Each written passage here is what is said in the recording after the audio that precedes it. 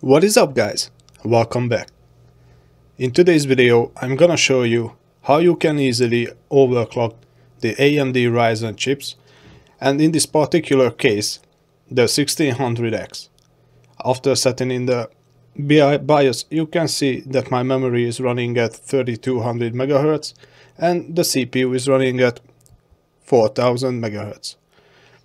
Then if you want to change these numbers, you can easily click on the advanced mode in which you can basically set up anything, all the data that you want to change.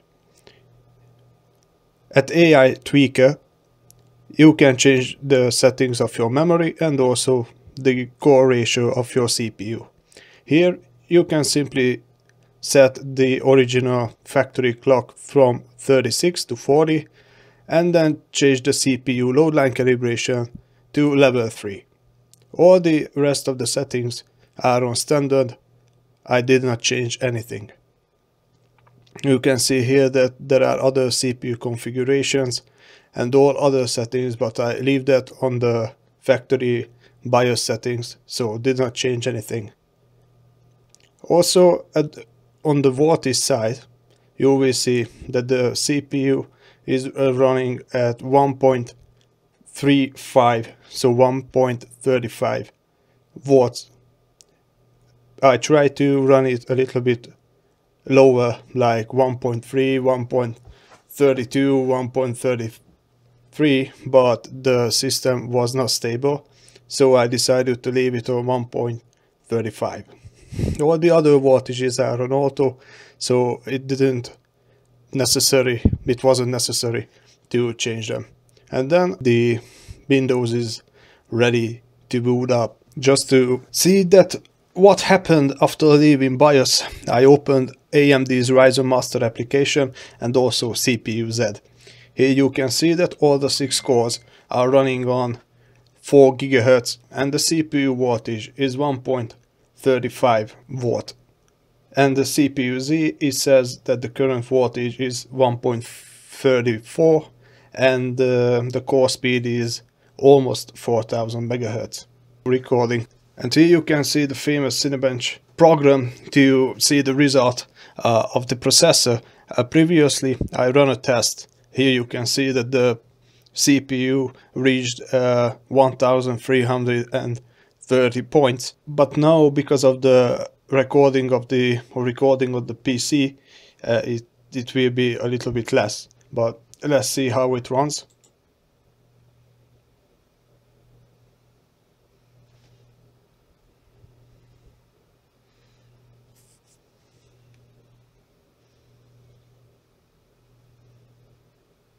So you can see that the result is 1322 and just hit that run again to have another result just after it.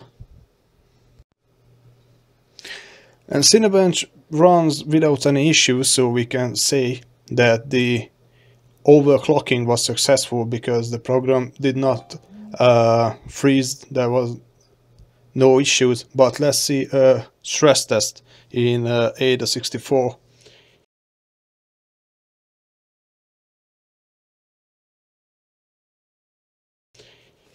I have the trial version here and I'm going to uh, stress test only the CPU uh, for 10 minutes because I think it's enough because after like uh, 6 or 7 minutes the temperatures uh, uh, remain the same uh, it, it won't go higher.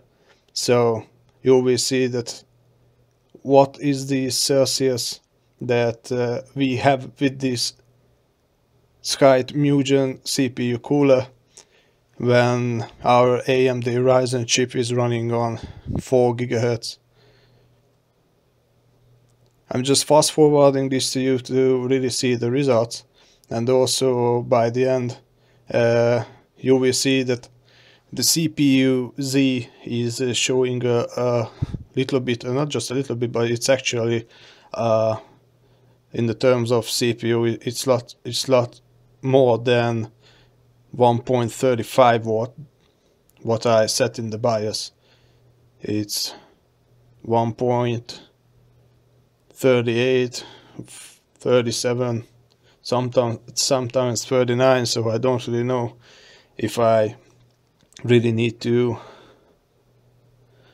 you know calculate these numbers because the AMD master program showed that okay it's uh, the voltage is 1.35 so we'll see but with this overclocking it's, it's it was very basic. I just set uh, you know the standard 36 to 40 in the BIOS and voila you have 4 gigahertz but you need to keep in mind that you know it's like a silicon lottery that each and every CPU is different. So it can be this uh, easy for me but maybe for you your chip is simply not capable of running at uh, 4 gigahertz or it can run at 4 gigahertz but you need to uh, you know give it more juice more power.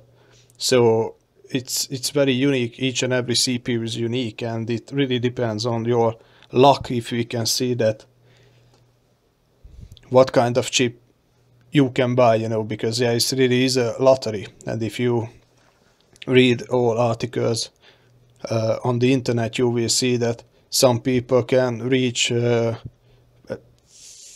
easily 4.1 or 4.2 gigahertz of speed but I didn't really wanted to go beyond this 4 gigahertz because you know this is just a, a couple of weeks old computer.